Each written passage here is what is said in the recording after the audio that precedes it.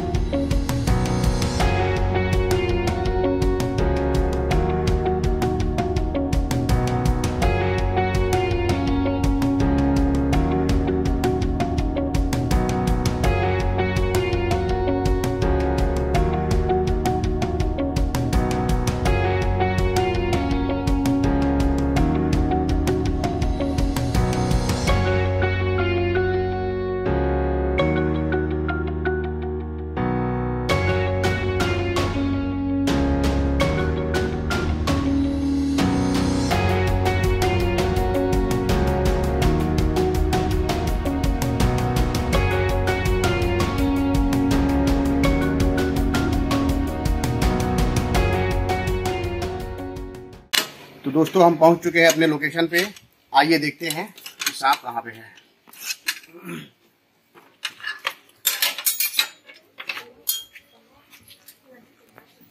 कहाँ पे भैया सांप दो सांप है?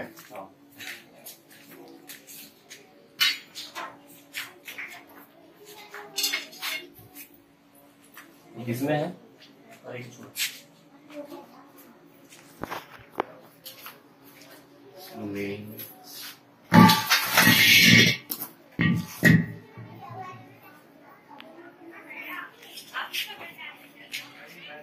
जैसा कि आप लोग देख रहे दोस्तों ने बताया हमें कि दो दो सांप देखे इन्होंने।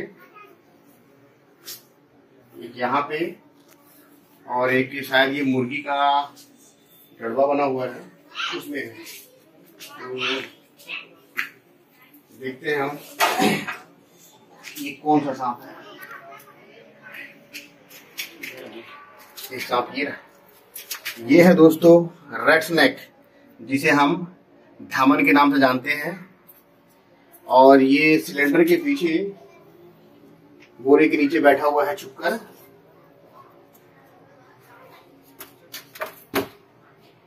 दोस्तों, ये नॉन वेनेमस बिना जहर का सांप है ये। और ये बहुत तेज बाइट कर सकता है ये। बहुत गहरे जख्म दे सकता है ये। और देखिए, किस प्रकार ये बाइट करने की कोशिश कर रहा है। और यहाँ पे हमने रेड स्नैक का सफलतापूर्वक रेस्क्यू कर लिए है।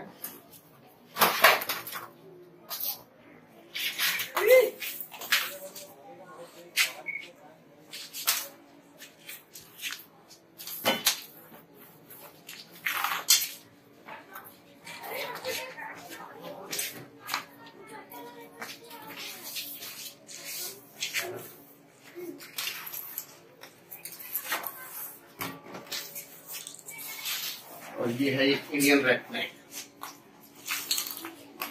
काफ़ी फुर्तीला और तेज, और देखिए किस प्रकार ये अपने आप को बचाने के लिए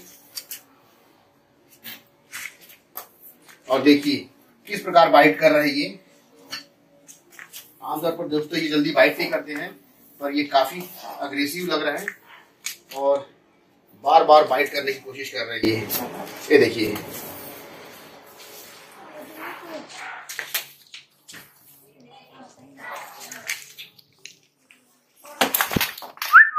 और ये हमने इसका रेस्क्यू बताया भैया ने कि हमारे यहाँ दो सांप देखने को मिला है तो एक सांप तो हमने रेस्क्यू कर लिया है।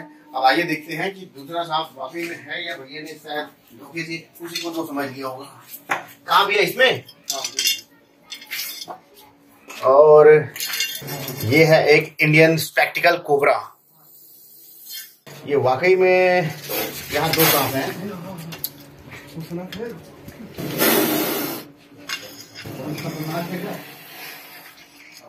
और ये यहाँ पे एक और सांप इंडियन स्पेक्टिकल कोबरा जो शायद मुर्गी के दरबे में मुर्गी के चूजों को खाने के लिए ये सांप आ गए। ये है एक इंडियन स्पेक्टिकल कोबरा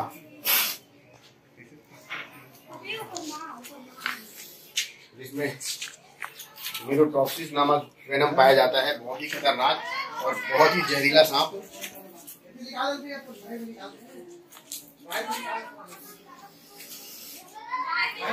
स्थानीय भाषा में दोस्तों इसे भारतीय नाग डोमी गेवन स्थानीय भाषा में इसे डोमी गेवन नाग दूध नाग आदि नाम से जानते हैं इसको।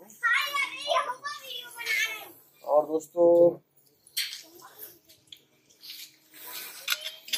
हमको देखकर ये आप लोग इसको इस प्रकार से पकड़ने की कोशिश ना करें, क्योंकि हमने तो इसे पकड़ने का प्रशिक्षण प्राप्त किया हुआ है। बिना ट्रेनिंग के आप लोग इसको पकड़ने की कोशिश ना करें, ये आप लोगों के लिए जानलेवा साबित हो सकता है। बैग में।